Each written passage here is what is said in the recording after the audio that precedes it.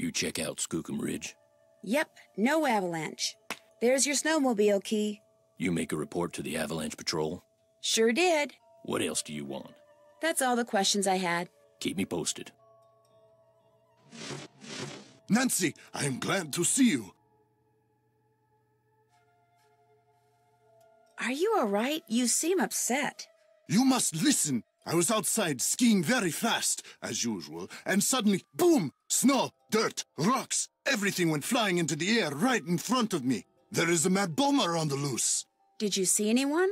I saw no one, not before, not after. My competitors bombed the bunkhouse thinking I would be so frightened that I would abandon my training and leave. Only I wasn't frightened, so now they are trying to bomb me. Do you think they're responsible for all the accidents that have been happening around here as well? My competitors and the governments behind them, they are as desperate as they are ruthless. They are capable of anything.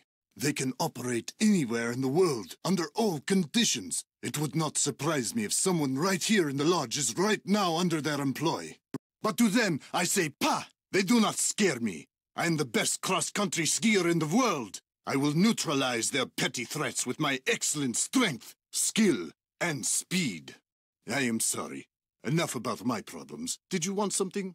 Chantal would like to use your name and picture on her website when she gets it up and running. Would that be okay? I am sorry, but no. Oh, well, so much for that.